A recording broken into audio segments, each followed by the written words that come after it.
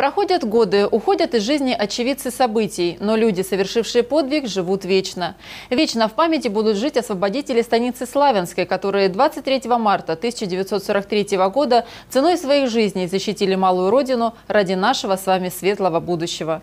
В канун Дня освобождения станицы Славянской от немецко-фашистских захватчиков в Славянском районе были организованы автопробеги, посвященные этой знаменательной дате. Продолжение темы смотрите в репортаже моих коллег.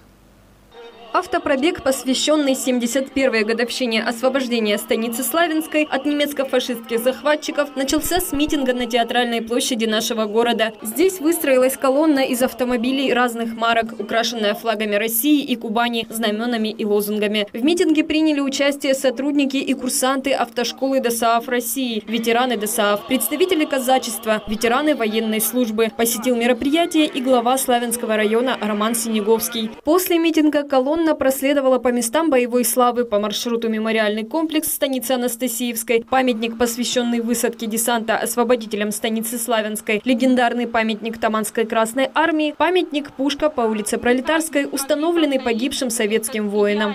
Уважаемые жители города Славянска на Кубани, поздравляем вас с Днем освобождения станицы Славянской от немецко-фашистских захватчиков! Ура!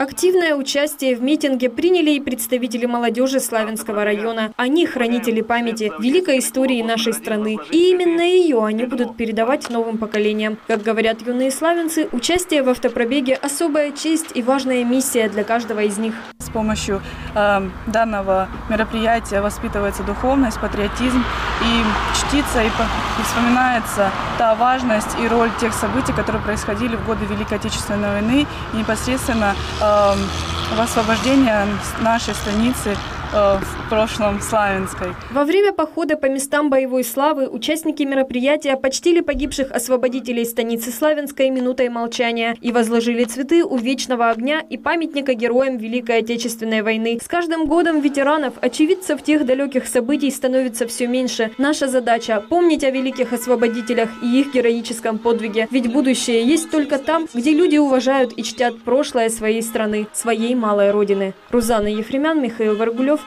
Константин Монастыренко, программа «События».